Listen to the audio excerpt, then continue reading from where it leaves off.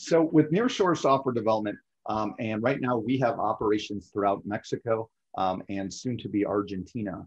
And so we're dealing with countries that are fluent in English, uh, both written and verbal. And from a cultural perspective, one of the nice things about nearshore resources, and I'll use Mexico for example, is um, in general, through Mexico and Latin America, the mentality of somebody working for a company is that they want to work for that company long for long term. They don't typically want to jump around to different positions and not have that stability. Where in markets such as India, where every large IT firm um, has set up shop, usually on the same street, and where they're known for very high turnover employees because an employee can get upset, go across the street to one of their competitors and get a job for another dollar an hour.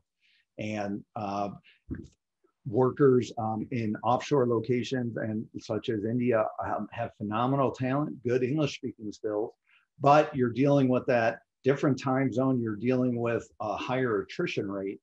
Um, and so that is one of the nice things about nearshore is um, English speaking, English, both written um, and verbal, and that same time zone support. And that mentality of goal of working with one company for a long term and not constantly jumping around.